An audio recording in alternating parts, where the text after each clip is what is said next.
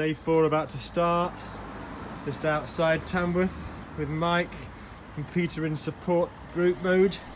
Uh, this is the support car driven by Peter, and here is the boot full of supplies, including a day pack of fresh clothing and some snack bars and drink for every day. Oh, and some blister plasters as well. Praying with the cross is like no other prayer walking. You're so aware of being a sign of Jesus' love and walking with his peace, whether seen or unseen. Park the cross up outside uh, a nice little tea place, Greg's place in Atherstone, just so we can uh, stretch our legs. We walked through rolling countryside in the bright sunshine, past old churches, thanking God for faithful witness.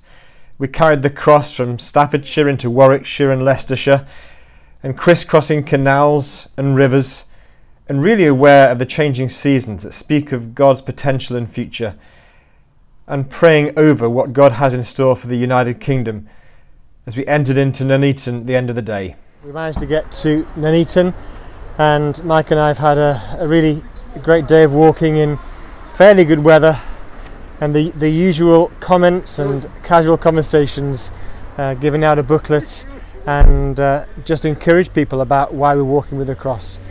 Uh, what we've been reflecting on today, I've been reading Isaiah 35 and it says in one translation, it says that God will cause a highway, a causeway to be in the nation it will be a holy way and it will become a pilgrim's way.